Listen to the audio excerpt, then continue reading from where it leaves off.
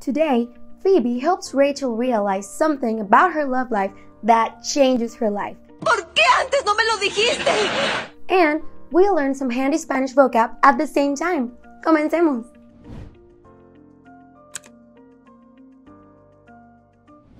Ay, estoy mal por cómo quedé con Ross. No debí mentirle respecto a tener que trabajar. Lo vi tan molesto conmigo. Ah, no seas tan dura contigo. Si estuviera enamorada de un hombre. ¿Estar enamorada? Sí. No estoy enamorada de Ross. Ah. No, no, bien. Y yo tampoco, claro. Phoebe, no voy a la boda de Ross porque él es mi exnovio y sería de verdad algo incómodo. Let's now dive in and break down the main vocabulary. Keep watching to find out what Rachel discovered during the breakdown.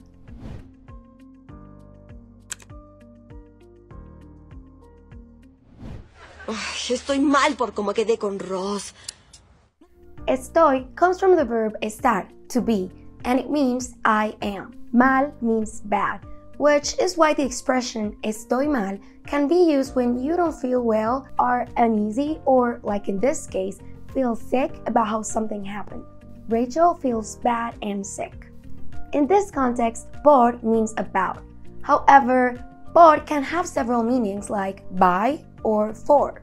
Como is a versatile word in Spanish that can function as a conjunction, adverb, or verb depending on the context. As an adverb, it can mean how or as. In this case, it means how. Quedé comes from the verb quedar. It means I stayed or I remained, and is commonly used to refer to a specific moment or situation in the past where the speaker remained in a particular place or state. In this case, Rachel is describing how she feels about how she left things with Ross, por como quedé con Ross. Ay, estoy mal por cómo quedé con Ross. No debí mentirle respecto a tener que trabajar. No debí means I shouldn't have or I ought not to have, and it is used to express regret or to acknowledge a mistake that was made in the past. Mentirle comes from the verb mentir, meaning to lie. Mentirle is formed by combining the verb mentir with the indirect object pronoun le, to him or her. Respecto is a Spanish preposition that is often used to indicate a relationship or connection between two things or concepts. It can be translated as regarding or about. In this case, Rachel is saying that she shouldn't have lied to Ross, no debí mentirle, about having to work, respecto a tener que trabajar. No debí mentirle respecto a tener que trabajar. Lo vi tan molesto conmigo. The phrase lo vi is formed by the direct object pronoun lo, it, him, with the verb ver, to see. It literally means I saw him, her, it, and is used to say either that you saw something or someone, or notice something in particular. Conmigo means with me. So Rachel is saying that she noticed Ross seemed upset with her.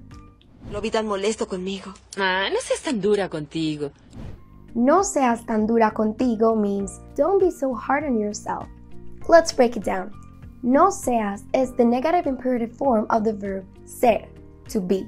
It means don't be or don't act like, and is commonly used to give advice or to criticize someone's behavior or attitude, just like what Phoebe is doing with Rachel. Tan is an adverb that describes quantity, like so or such. Dura is a feminine singular adjective that means hard or tough. Therefore, Phoebe is telling Rachel to stop being so hard on herself. No seas tan dura contigo. She's so supportive. And hey, if you like this way of learning, make sure to subscribe to our channel so that you don't miss videos like this one or our upcoming video of the song Ojitos Lindos by Bad Bunny.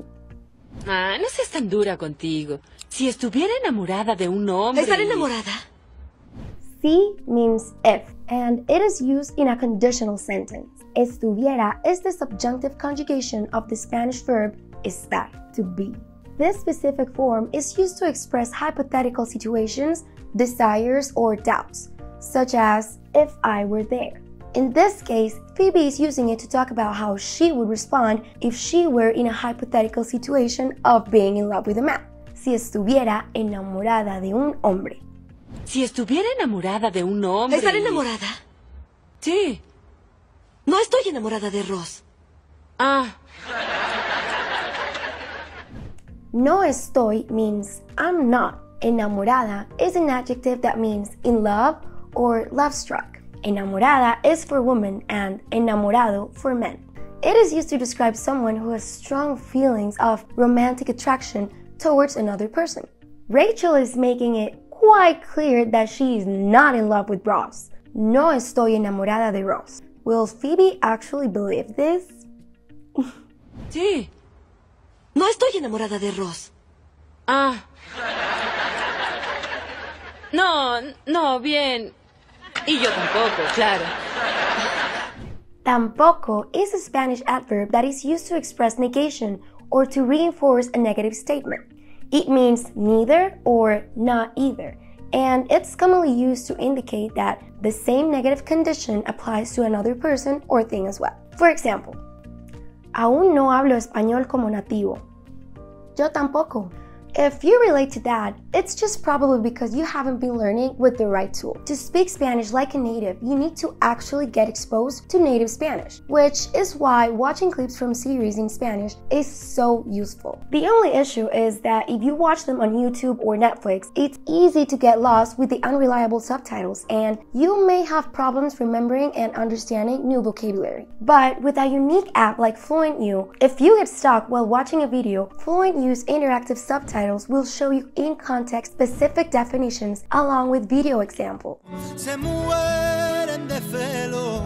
You can immerse yourself in authentic videos like movie clips, TED Talks, and music videos. And after each video, there's a quiz personalized to your level and speaking questions too. So you can practice everything that you just learned. If you want to speak Spanish confidently like a native, then sign up for a free 14 day trial. This is actually a great time to sign up because FluentU is currently on sale. No, no, bien. Y yo tampoco, claro. Phoebe, no voy a la boda de Ross porque él es mi exnovio y sería de verdad algo incómodo. No voy a la boda translates to I'm not going to the wedding. Boda means wedding. Rachel is saying that she is not going to Ross's wedding because sería de verdad incómodo. Sería is the conditional tense conjugation of the verb ser, to be. It means it would be.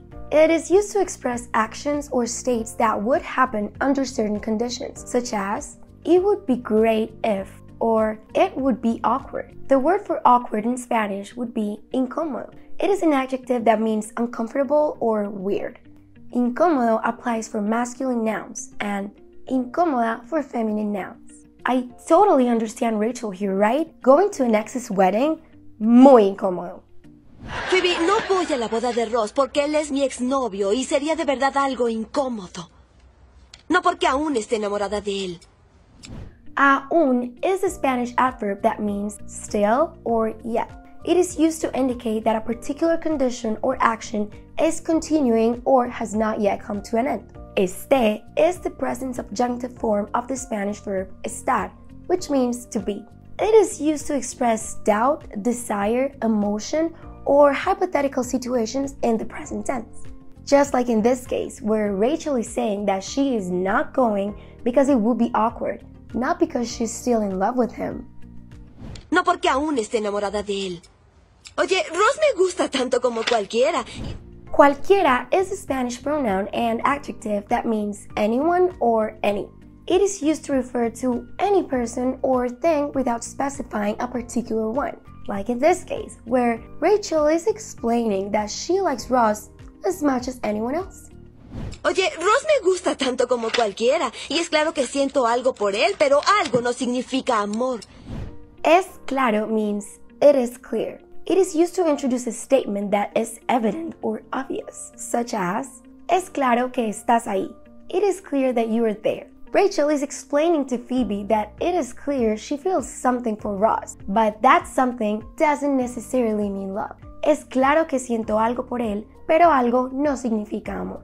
No significa means does not mean. It is used to negate or contradict a previous statement, like Rachel saying that she feels something, but it is not love. No wonder why Phoebe is confused. Y es claro que siento algo por él, pero algo no significa amor. Es que todavía siento algo de amor por Ross, ¿sabes? ¡Sí! Todavía is an adverb that means still or yet. It is used to indicate that a particular condition or action is continuing or has not yet come to an end. For example, ¿Todavía no has visto nuestro PDF gratis? We've created it so you can easily access and study all the vocabulary that we have learned today. Get it by clicking on the link in the description below. Rachel is going on about how she still feels love for Ross. Todavía siento algo de amor por Ross, ¿sabes? ¿Sabes means, you know, it is used to seek confirmation. Rachel is trying hard to get Phoebe to understand that she is not in love with Ross. Es que todavía siento algo de amor por Ross, ¿sabes? ¡Sí! Bueno, yo, yo aún siento algo de amor, pero no significa que, que aún esté enamorada de él. Aún siento means I still feel. It is used to express that a particular emotion or sensation is continuing, like Rachel's love for Ross. But she is still trying to deny it by saying, pero no significa que, que aún esté enamorada de él. Bueno, yo, yo aún siento algo de amor, pero no significa que, que aún esté enamorada de él. O sea, la verdad siento atracción sexual hacia él, pero sí lo amo. O sea is a Spanish phrase that is often used to say, in other words, or I mean. It is used to clarify or explain something that has been previously mentioned. Rachel is trying to explain what she has been saying for a while, and she adds, Siento atracción sexual hacia él, pero sí lo amo. Atracción is a Spanish noun that means attraction. It can refer to a physical, emotional, or intellectual attraction between people or things, such as the obvious attraction between Ross and Rachel, which apparently she has just come to discover. O sea, la verdad siento atracción sexual hacia él, pero sí lo amo. ¡Ah! ¡Por Dios! Pero, ¿por qué antes no me lo dijiste? Por Dios means oh my god, and it is an expression of surprise. In Spanish, there are four porqués. ¿Por qué? ¿Por qué? ¿Por qué? and ¿por qué? ¿Por qué is used when opening a question and requesting an answer like in this case where Rachel is asking Phoebe why she didn't tell her before. ¿Por qué is used when you use the word as a synonym for cause, reason, or explanation. ¿Por qué is used as a conjunction. And finally, ¿por qué is what you say when you introduce a cause for something. In this clip, Rachel uses the first one. ¿Por qué? This is the one used to ask questions as she is asking Phoebe why she didn't tell her before.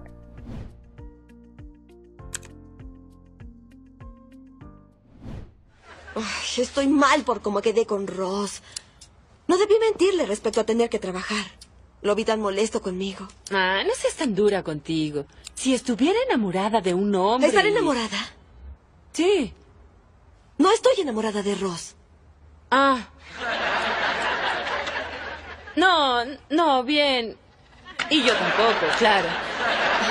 Phoebe, no voy a la boda de Ross porque él es mi exnovio y sería de verdad algo incómodo. No porque aún esté enamorada de él. Oye, Ross me gusta tanto como cualquiera. Y es claro que siento algo por él, pero algo no significa amor. Es que todavía siento algo de amor por Ross, ¿sabes? ¡Sí! Bueno, yo, yo aún siento algo de amor, pero no significa que, que aún esté enamorada de él. O sea, la verdad siento atracción sexual hacia él, pero sí lo amo. ¡Oh, ¡Por Dios! Pero, ¿por qué antes no me lo dijiste? You'll love this next video about Rachel Green's most iconic moments, like when she had to face her baby's father. So go find out what happened while you learn more Spanish vocab.